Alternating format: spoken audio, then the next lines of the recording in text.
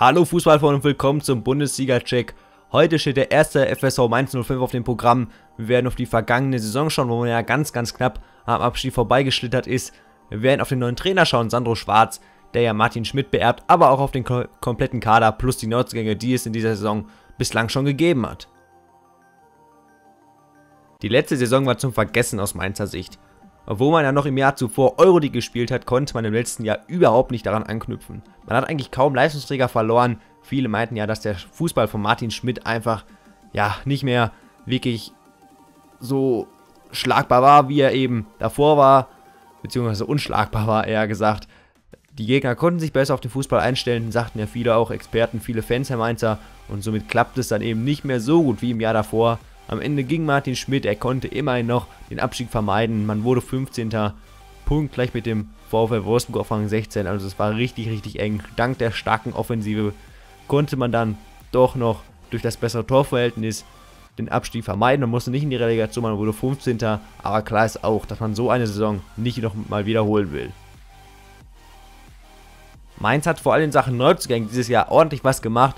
Schauen wir erstmal auf den kompletten Kader im Tor. René Adler, die neue Nummer 1, der ehemalige deutsche Nationaltorhüter. Janik Gut geht als Nummer 2 in die Saison, auch wenn er sich jetzt erstmal verletzt hat, zwei Monate ausfällt. Zudem hat man auch noch Florian Müller und Robin Zentner. In der Verteidigung Giulio Donati rechts hinten wohl gesetzt. Brosinski hat letztes Jahr oft links hinten gespielt. Durch den Nutzgang Sverko würde ich ihn aber jetzt eher wieder rechts hinten einplanen. Dann Stefan Bell, Balogun, Hack, Bungert und Nutzgang Diallo, der von Monaco gekommen ist für die Innenverteidigung links, wie gesagt, Zwerke und Gaetan Busman, der wohl auch gesetzt sein wird. Im Mittelfeld Joubamon, der wieder fit ist, wird auch wohl eine wichtige Rolle spielen, wie auch Danny Latzer neben ihm auf der 6. Fabian Frey hat man dann noch als Serra, José Rodriguez und dann für die 10 Alexandro Maxim. Neuzugang von Stuttgart, Robin Quaison ist ja im Winter gekommen und Philipp Clement, der ja wohl angreifen will. Für die Ausnahme dann noch Levin Öztunali, Karim Onisivo, Gerrit Holtmann, Pablo de Blasis, Jairo Samperio und Nordzugang Victor Fischer der aus England gekommen ist, verspricht man sich schon viel von und im Sturm Yoshinori Mutu, der wohl erstmal Stammspieler sein wird. Kodo hat man sich dann noch geholt, Emil Berggren hat man ja auch noch und Aaron Seyday.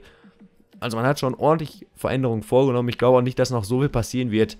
Das ist auf jeden Fall der komplette Kader der Mainzer.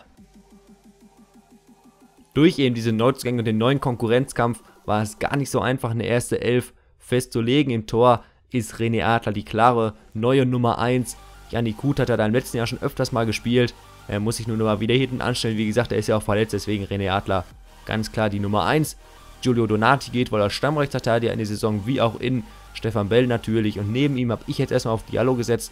Alexander Hack hat ja in der letzten Saison, vor allem in der Rückrunde, sehr, sehr häufig da gespielt. Ich glaube aber, dass ihm erstmal der Notzugang vorgezogen wird. Und daneben, wie gesagt, auf jeden Fall Stefan Bell. links hinten Gaetan Busman. Auf der 6 geht so wieder das Du mit Gibbermann und Latza. Sollte sich da keiner von beiden verletzen, werden die gesetzt sein. Rechts für mich Levin Öztunali, der U21-Europameister, ist für mich auf jeden Fall klar gesetzt, wie auch auf der 10 Maxim.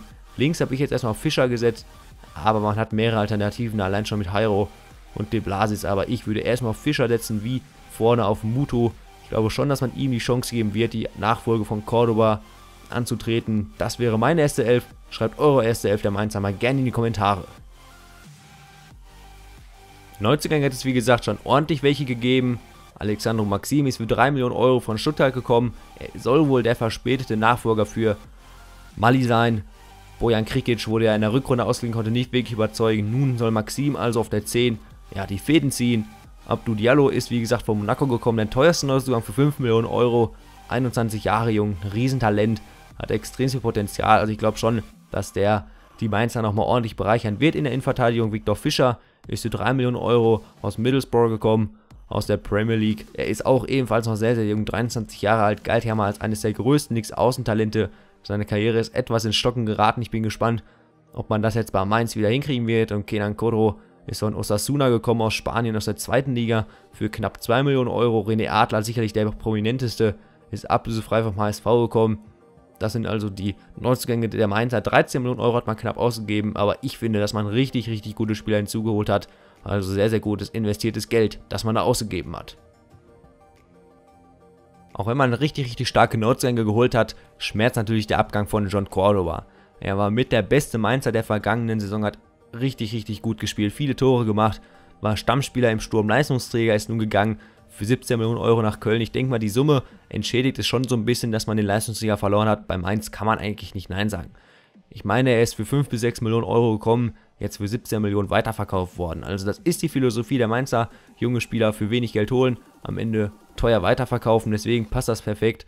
Man muss ihn am Ende für die Summe abgeben. Florian Niederlechner hat man ja auch dann dauerhaft ziehen lassen an Freiburg für 2,3 Millionen Euro und Pierre Banks dann ebenfalls an Kopenhagen verkauft für eine Million. André Ramalho hat man ja ausgeliehen, letztes Jahr gehabt von Leverkusen, ist zurückgegangen, wie auch Bojan Krikic. Und somit hat man insgesamt 20 Millionen Euro eingenommen. Gerüchte um Neuzugänge gibt es bei Mainz momentan gar keine. Sie wollten schnell alle Spieler beisammen haben, das haben sie auch getan. Ich glaube nicht, dass da noch was passieren wird. In Sachen Abgängen könnte durchaus noch was passieren. José Rodriguez wurde ja schon im letzten halben Jahr verliehen. Er könnte die Mainzer wohl noch bei einer passenden Ablösesumme verlassen. Nizza wurde da zuletzt genannt und auch Karim Unisivo könnte zurück nach Österreich kehren. Austria Wien hat Interesse. Er hat ja einen Marktwert von 1,5 Millionen Euro. Könnte ich mir sehr, sehr gut vorstellen, dass sich Wien den Österreicher schnappen würde. Ich denke mal, da wäre auch die Ablösung jetzt kein großes Problem. Das wären noch so zwei Spieler, wo ich mir auf jeden Fall vorstellen könnte, dass die Mainz verlassen werden. In Sachen Neuzugängen wird meiner Meinung nach auf jeden Fall nichts mehr passieren. Außer vielleicht, es würde noch Verletzungen geben, aber sonst wird alles so bleiben, wie es ist in Sachen Neuzugängen, in Sachen Abgängen. Wird es wohl noch ein bisschen Bewegung geben. José Rodriguez und Onisivo sind sicherlich Kandidaten für einen Abschied. Mainz sucht für einen neuen Trainer und der neue Trainer passt perfekt ja, in die heutige Zeit. Sandro Schwarz ist gerade mal 38 Jahre jung. Er passt zur Generation Nagelsmann, Tedesco etc. und die anderen ganzen. Also er ist auch einer der jüngeren Trainer. Er bringt seine eigenen Ideen mit und er ist ja auch ja fast schon Mainzer Urgestein auf der Trainerbank, wenn man so will. Er hat lange bei der U23 gearbeitet. Klar, er ist mit der U23 nun abgestiegen, aber er passt einfach perfekt zu Mainz und ich, ich halte ihn für den perfekten Trainer, der jetzt nach Mainz passt. Man hat ja auch schon gesehen bei Mainz. Man hat Klopp sozusagen entwickelt, Tuchel entwickelt und natürlich auch Schmidt war gar kein Fehlgriff, muss man einfach so klar sagen. Er hat Mainz nach Europa geführt. Nun also Sandro Schwarz. Meiner Meinung nach kann das wirklich gut laufen. Man muss der Mannschaft natürlich auch Zeit geben. Aber wenn man der Mannschaft Zeit gibt, was ich schon glaube, dass das Rufen Schröder machen wird, wird das Duo Schröder und der neue Trainer Sandro Schwarz auf jeden Fall sehr, sehr gut funktionieren. Nachdem man in der vergangenen Saison den Abstieg so gerade verhindern konnte, wird sicherlich das Ziel dieses Jahr sein, nichts mit dem Abstieg zu tun zu haben. Ich glaube nicht, dass man sich zu hohe Erwartungen steckt, deswegen fände ich den 14. Platz als eine realistische Erwartung. Es kann sicherlich noch ja, ein, zwei Plätze höher sein, aber viel mehr sollte man von den Mainzern in diesem Jahr einfach noch nicht erwarten. Aber man hat an einigen Stellen des Kaders Veränderungen vorgenommen, man hat ein sehr junges Team, dem muss man noch ein bisschen Zeit geben, plus einen neuen Trainer, der auch noch sehr jung ist. Ich glaube schon, dass der 14. Platz realistisch wäre, dass mit dem schon alle zufrieden wären. Es wäre jetzt kein Platz, wo man ausrasten würde vor Freude, aber es wäre ein souveräner Mittelfeldplatz, wenn man nichts mit Abschied zu tun hat, werden am Ende der Saison sicherlich alle mit der Saison zufrieden sein. Mainz 05 hat sich vor der Saison jetzt ein bisschen anders aufgestellt, neuer Trainer, ein paar gute neue Spieler, also wird sicherlich einiges neu sein. Vielleicht wird man auch eine andere Art Fußball spielen, aber klar ist auch, dass man nicht zu viel erwarten sollte. Man hat, wie gesagt, ordentlich Veränderungen vorgenommen, man hat ordentlich Geld ausgegeben durch den Verkauf von Cordoba, auch ordentlich Geld eingenommen, aber klar ist auch, die Mannschaft muss sich mit dem Trainer zusammen erstmal entwickeln und wenn das klappt, glaube ich schon, dass man eine gute, solide Saison spielen kann und dessen Ende man nichts mit dem Abschied zu tun hat, nichts mit dem Abschied zu tun hat und im sicheren Mittelfeld landet. Das war also die Folge über Mainz. Es gibt jetzt nur noch vier Teams, die zur Auswahl stehen. Das wären Hannover, Dortmund, Schalke und Bayern. Heute wird es noch die weitere Folge geben. Da ist Hannover unser Team, was wir unter die Lupe nehmen werden. Deswegen gibt es heute keine Abstimmung.